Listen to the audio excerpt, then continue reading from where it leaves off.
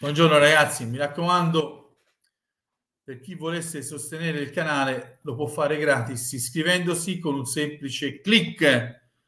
Tornando a quello che è successo ieri eh, in Napoli-Lecce, io ho provato a guardarla quella partita, ma prima del gol mi sono addormentato sul divano.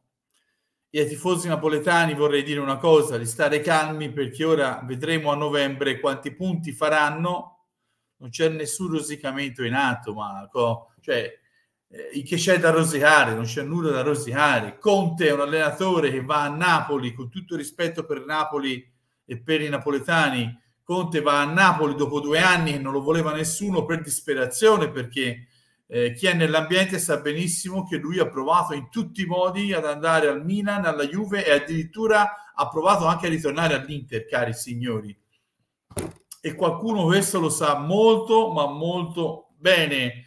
Napoli, la classifica del Napoli, calcisticamente parlando, che Napoli è l'anticalcio, non si può vedere giocare a calcio nel 2024 in quella maniera perché Napoli specula, non gioca a calcio.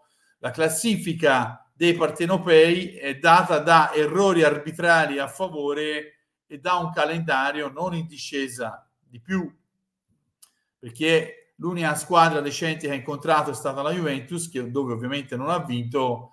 E mi ricordo la partita di Parma, dove Napoli è stato preso a pallonate in Coppa Italia. Napoli è una squadra che non gioca a calcio e che non andrà lontano. Veniamo a noi, Derby d'Italia, rivalità infinita. Quanti ricordi? Quanti ricordi? Quanti ricordi? Tanti ricordi.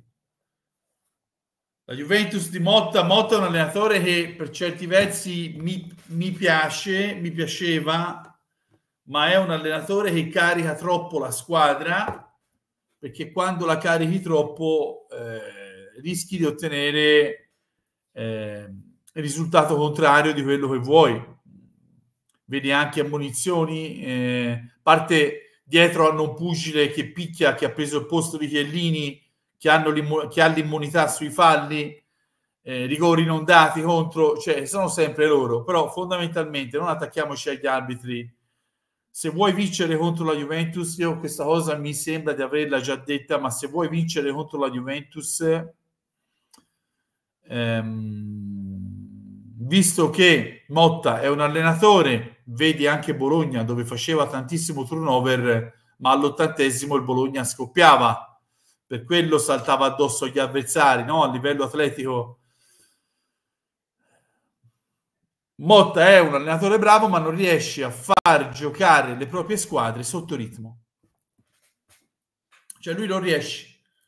Motta è un allenatore che va a palla e finisce la partita a palla e spesso i giocatori al settantesimo non ne possono più, pur facendo turnover e pur facendo 3-4 sostituzioni quindi noi cosa dovremmo fare? O cosa avremmo dovuto fare con Cialanoglu e Acerbi che purtroppo non ci sono, ma cosa dobbiamo fare? Dobbiamo farli correre a vuoto il più possibile e colpirli nei momenti di stanchezza. Perché una delle nostre doti migliori, una delle nostre migliori qualità è saper variare ritmo durante la partita, cosa che fino a due anni fa non avevamo.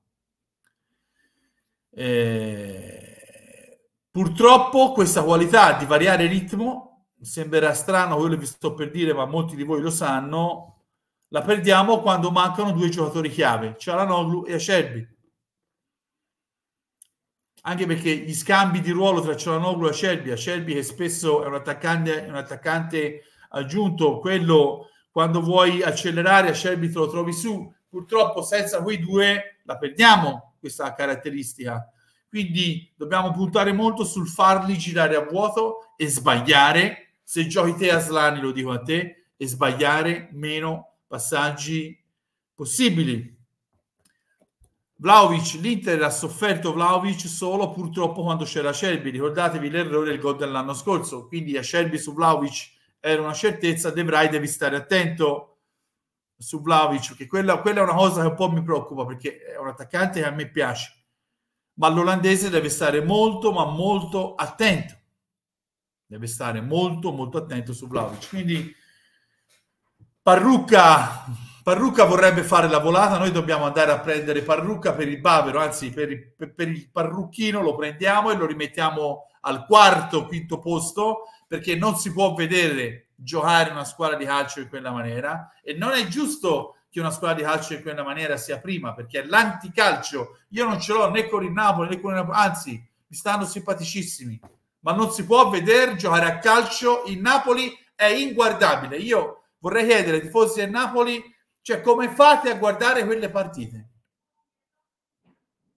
Come fate a guardare quelle partite? Tra l'altro, ehm, tra l'altro, io vi dico una cosa, in panchina abbiamo pochi variabili, dobbiamo po- pochi variabili eh, offensive perché lo sappiamo tutti, abbiamo, non, abbiamo tanti infortunati, quindi secondo me gli 11 titolari stasera devono essere bravi a cambiare loro la partita perché per me potremmo contare molto poco sulla panchina, quindi chi va in campo, mi raccomando, Ticus, Lautaro, voi dovete far sì che la partita si inanelli subito nella direzione giusta. E a me non me ne frega una sega se corre l'attaccante deve tirare il gol. Ciao Inter.